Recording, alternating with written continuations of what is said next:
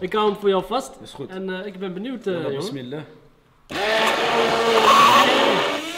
Ja, hem steeds een beetje omhoog, zodat alles eronder gaat.